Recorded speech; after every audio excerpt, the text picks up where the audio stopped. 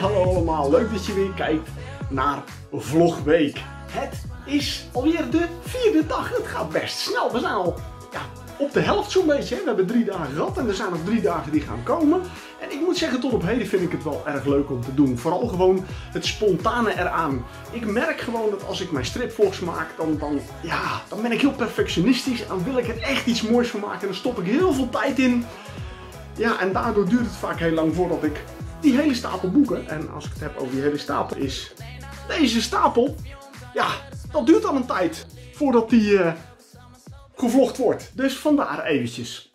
Maar goed, uh, wat heb ik voor vandaag bedacht? Uh, nou, het was, was een lastige en een gegeven moment was het ook eigenlijk geen lastige. Want ik wil het met jullie gaan hebben over Scrooge. En ja, dan heb ik het even niet over deze Scrooge. Maar ik ga nu even met de strips beginnen. Je snapt het natuurlijk al. Dan moet ik even de Engelse versie hebben. En dan praten we natuurlijk even over, jawel, over Dagobert Duck. De jonge jaren van Dagobert Duck. Het levensverhaal van Dagobert Duck. Ja, dit vind ik een fantastische stripreeks. Maar ik heb er natuurlijk meer. Wacht even hoor, dan gaan we deze even hier leggen. Ah, je ziet het al. Ik wil nog niet laten zien, nog niet laten zien. Ja, wel. Misschien weet je het wel. Ik pak er even een paar. Zo, deze pak ik eventjes ermee.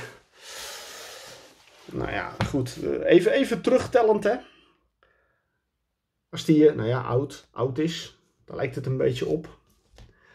En deze, ja, het is gewoon echt heel erg mooi. Ik vind het echt een hele tof verhaal van Don Rosa. Die heeft dat verhaal gemaakt. Maar ik vind het vooral gewoon ontzettend leuk om deze Dagobert uh, als, als, als kleine eend te zien. Uh, ja, hoe het allemaal begonnen is met hem. En vooral eventjes ja, hoe hij aan zijn geluksdubbeltje komt.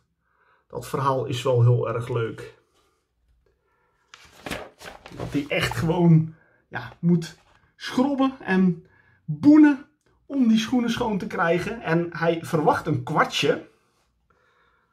Maar het muntje wat hij krijgt, dat blijkt dus een dubbeltje te zijn. Hij is opgelicht. En even, dit is toch wel belangrijk van, ja, dat is de les die hij geleerd heeft. Hoe gaat hij die in latere tijden nog terugkomen, die les? Ja, ik, ik blijf het een fantastisch verhaal vinden. En uh, als je zo'n verhaal gaat lezen, strips en muziek is voor mij natuurlijk de ideale combo. En daar heb ik, voor dit verhaal heb ik gewoon de perfecte muziek. Namelijk deze.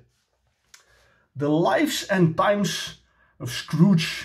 Ja, ik wou zeggen Scrooge McDuck, maar dat is niet The Lives and Times of Scrooge. En zoals je kan zien, is deze muziek van Tuomas Holopainen. Nou, misschien heb je zoiets van die naam, die zegt mij niks. Dat klinkt misschien wel uh, Vince, dat klopt, want hij is de grote man van de band Nightwish.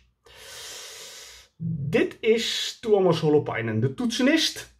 En ja, voorman uiteindelijk, hè, ondanks de Nederlandse Floor Jansen die je hier ziet staan, die de band versterkt met haar fantastische stem.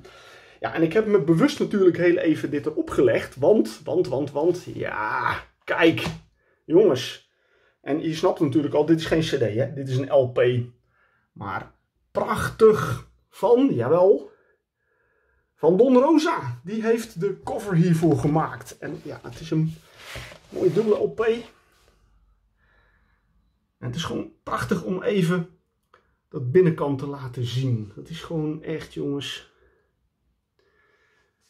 Hier heb je even de twee mannen samen. Ja, dit is... En het is ook gewoon wel hele mooie muziek hoor. Het is, als je Nightwish kent, dat is bombastisch, dat is metal. Een beetje gothic metal. Dat is heel anders dan de muziek die je op deze uh, platen uh, vindt. Maar echt heel erg mooi gewoon. Als het goed is, moet ik heel even spieken. Als het goed is, ja. Kijk ook de. Ja. Dit is echt zo ontzettend mooi.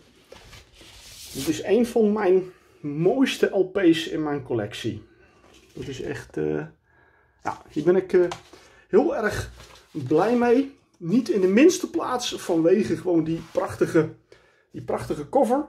Want ja, daarin weet je gewoon meteen van jongens, je moet gewoon LP hebben met zulke mooie covers. Maar goed, hij past dus perfect bij het levensverhaal van oom Dagobert. De perfecte achtergrond en muziek voor. Dus ik kan hem alleen maar aanraden, zoek hem op. Nou, uh, uh, dat was hem dan. Uh, vlogweek dag 4. We gaan op naar vlogweek dag 5. Ja, het is elke dag weer even iets verzinnen, maar ik vind het wel leuk. Leuk om iets te verzinnen, leuk vooral om een thema te verzinnen waarbij ik een cd en een strip aan jullie kan laten zien. Dus ik ga weer even brainstormen over iets leuks en dat ga ik jullie morgen brengen. Dus ik zou zeggen, tot morgen!